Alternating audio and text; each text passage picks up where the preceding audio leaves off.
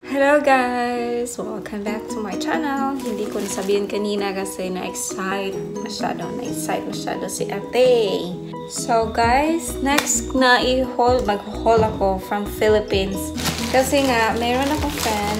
First of all, shout out to my friend Ellen. Thank you so much for bringing these stuffs. stuffs itong mga pagkain dito para sa akin. Thank you so much. Um, iba, galing sa kanya, iba galing sa friend, I mean sa, sa ate ko kasi sabi ko sa ate ko na bigyan, I mean dalhan, padalhan niya ako ng dried fish. Kaya ang baho dito, magagalit po ng lady ko. So first of all, yeah, thank you so much, Ellen. Binigyan niya kami ng ganito. Kasi galing taga Bacolod siya. So binigyan niya kami ng ganito. That's for Joseph. Tsaka ito yung sa akin. Ganda! Thank you! Sobrang thank you, Beshi! To? Ah, Joseph! Ang baho talaga niya, guys. Sobrang baho niya. So, first, nas ko si Ellen. Wala kasi sila dito. Safeguard na sabon. Sabi ko, can I have... Pwede bilhan mo ko ng safeguard. Sabi bilhan niya ako. Yay! Thank you so much. Tatlo. Tapos, oh. Ay, ito yung mga in-order ko sa Lazada, guys. Teka, buksan natin. Lo, ang liit lang pala nito. Akala ko ano. Teka ha. Talagang nakabubble wrap pa sila. Galing pa to sa Lazada, guys. Hindi ko alam paano to. It's gonna be a long video for this. Pero separate ko yung ano,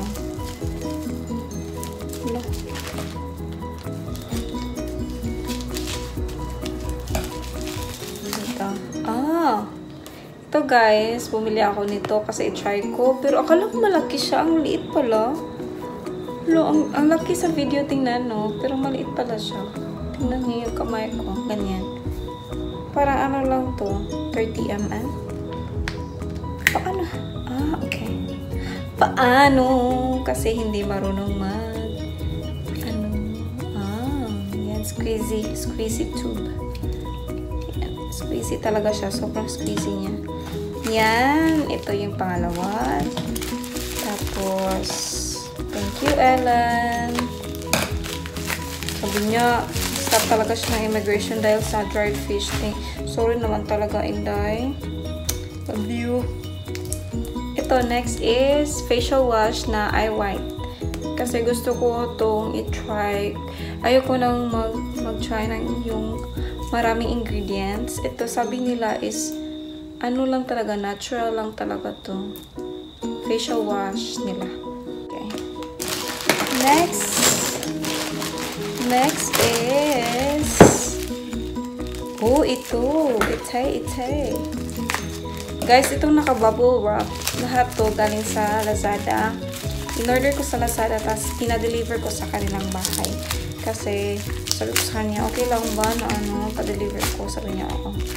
Yan. First is this Hyper Sharp na from Maybelline na liquid eyeliner, I think.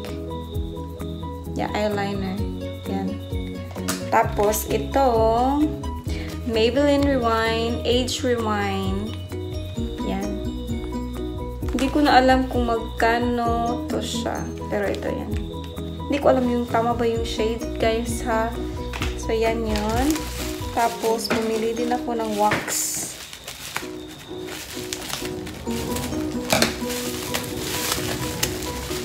Wax ba ito? Oh, wax in ito. Kasi gusto ko mag... Meron akong epilator, guys. Yun yung um, ginagamit ko talaga yung epilator. Pero yung wax, para to sa mukha ko, para ma-wax ko yung face ko. Alam ko hindi siya dapat, pero marami kasi akong hair all over my face, all over my body. Kaya ito wax. Dalawa to. Another wax. Tapos, ito yung ilalagay pagkatapos. Hindi ko alam, di ba yung alo, nagpaparami ng buhok, di ba? Hindi ko alam bakit after yung... Ito. Thank you, Ellen. Ito from from Ellen to. Salamat, Inday! Yan. Lagay ko to dito. Yan yung lahat. Lagay ko siya balbas, ha? Tapos ito na yun guys. Oh, ang piyaya. Anong nangyari sa piyaya? Hmm. Wala naman siyang kaka-upnatean. Ito yung favorite ko na piyaya guys. Um, flat piyaya. Ito yung pinaka-favorite ko. Ayaw ko nung isa, yung isang kasi ng piyaya. Piyaya. Piyaya ito. Um, masarap to guys. Nabibili to sa Cebu.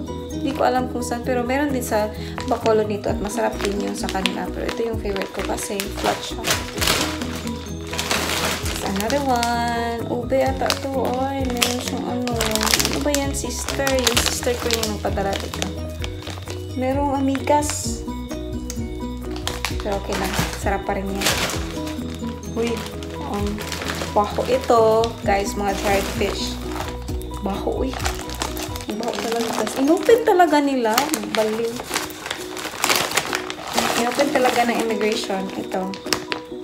Danggit. Taran! So, iiwan ko itong sa akin na yung open. Uy, inopen talaga nila isa-isa, guys. Grabe. Yan. Yan. Ito, ibigay ko sa kanya. Kaya alam yan. Tapos ayaw na ni Des. Eh, ayaw na ni Des ng danggit. So, so ito. Tcharam! Akin na lang. Kasi meron pa raw siyang meron pa raw siya doon. Tapos, thank you, sister. Thank you lang sa pagbili nito at pagpadala. At thank you, Ellen, sa pagdala. Alam kong mayroong ano ka sa ano, immigration. Ay! Hearing. Sa immigration. Pero maraming salamat talaga. Ito, dried fish. Ito, sap-sap. Woohoo! Oh my gosh, thank you, Lord. Thank you.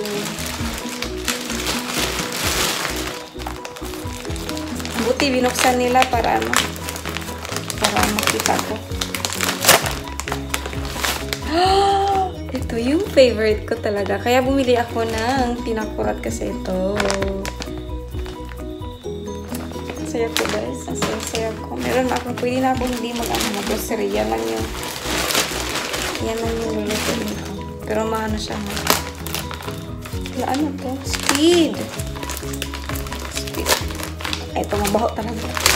Ayaw ko ba? Ayaw ko ng ano ito. Hindi ako masyadong kumakain ito. Pero sabi na ate ko, bala ka. Gusto ko. Pero masarap to guys. So, yan lahat. Ibibigay ko yun kang Ellen.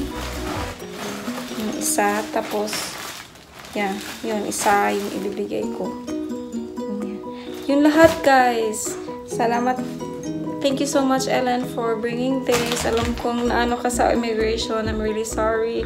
Pero thank you, thank you, thank you talaga. Super thank you talaga. Yes, so that's it for this video, guys. This haul. Haul from the Philippines. Yun yung title ko. Sinaparate ko siya. So, thank you. Gusto gusto ko to.